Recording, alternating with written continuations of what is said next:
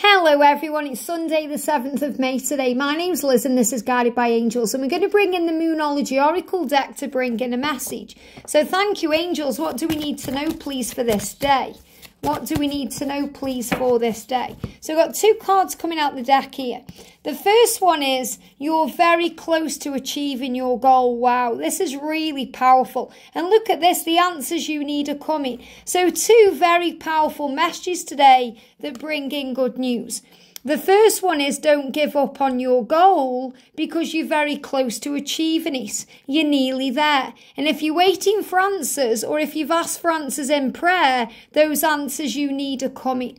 Especially connected with twin flames because the Gemini energy is connected with the twin flames. Or if you're a Gemini thinking, I've been praying about help, I've been asking for answers, and I don't know what to do, the answers that you need are coming.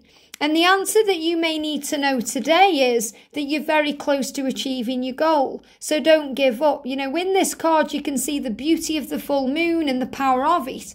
But the trees are trying to creep in. So I'm seeing those trees as doubts, fears, struggles, naysayers, people trying to rob you of your happiness or strip that away.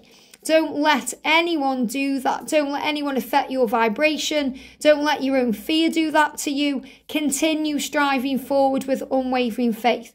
So the message is the answers you need are coming. And if the answer you need is that you're very close to achieving your goal, then trust in that today. Don't give up and keep moving forward with faith. I hope this helps. Have a great day and I'll see you soon.